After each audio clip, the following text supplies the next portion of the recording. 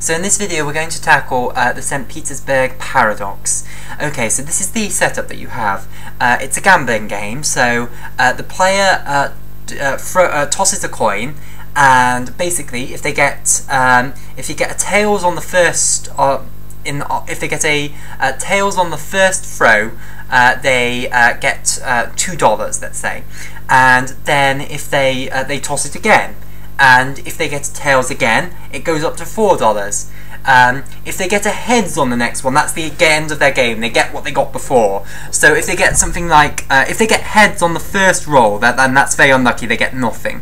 If they get tails on the first roll, then it goes up to two dollars. Uh, but if they then get a head straight after that, uh, they then win just two dollars. If they go on, they get tails, tails, and then heads. Uh, then uh, they'll win four dollars tails, tails, tails, heads. So basically, heads ends the game for them. That ends the game. That's oh, it's over after that. Um, but um, before that, the number of tails that precede you getting a head, uh, the number, the amount you win is two to the number of heads, uh, number of tails that precede it. So i is equal to the number of tails preceding your first head, preceding first head. And the amount that you're going to win uh, is going to be 2 to the power of i.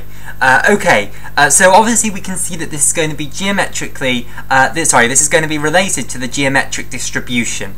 Uh, so the question is, what is the expected value uh, of um, money that you'll get for, what is your expected value for the money, for the amount of money you're going to get?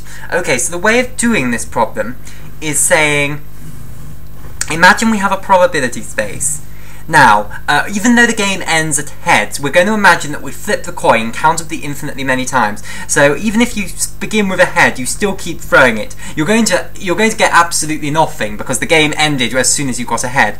But you go on anyway, so you get all of these outcomes. So you put in every possible outcome of throwing a coin, uh, of flipping a coin, uh, countably infinitely many times, and you put that all into this sample space. You then create a random variable x, uh, which is going to be geometrically distributed, geometrically distributed, and we're going to say it's geometrically distributed a half, because the probability of getting ahead is a half, and uh, you're going to go on to um, 0, 1, 2, 3, etc. up, and x is going to map any outcome, it's going to map it specifically onto the number of tails preceding the first head.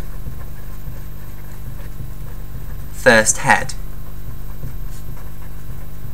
Now, uh, we could then uh, take the function which is going to take 2 to the power of x, and that is going to uh, tell you how much you would win basically. Uh, so if you've got 0, well actually no, it's not 2 to the power of x, it's 2 to the power of x minus 1, is it?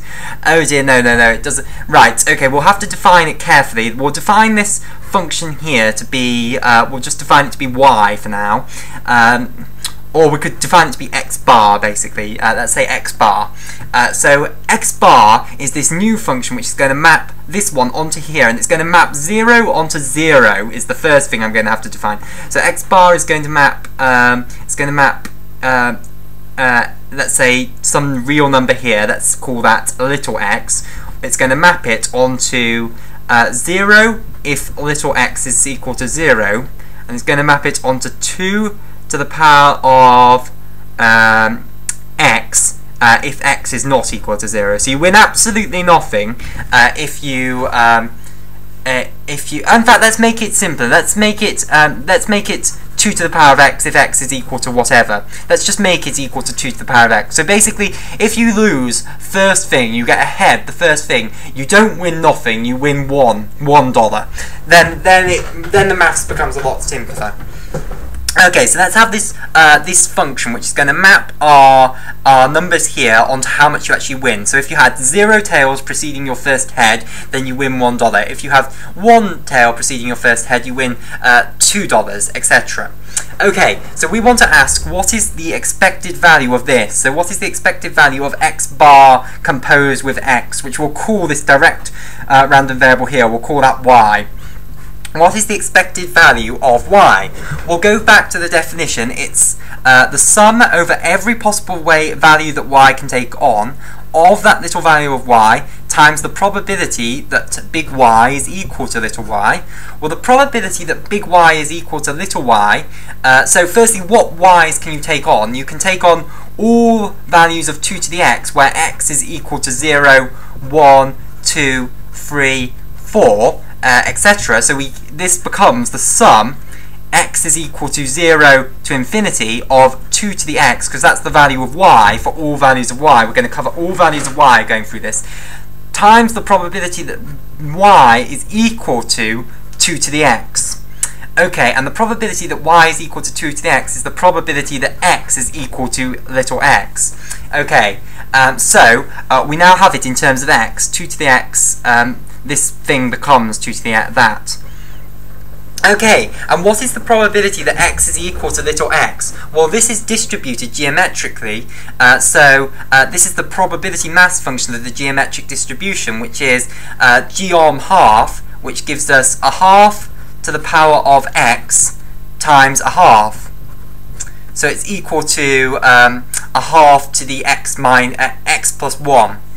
Uh, so it's equal to, um, so if we plug that in, we get that it's equal to the sum from x is equal to 0 to infinity of 2 to the power of x over 2 to the power of x plus 1, basically, which is the same thing as a half to the power of x plus 1.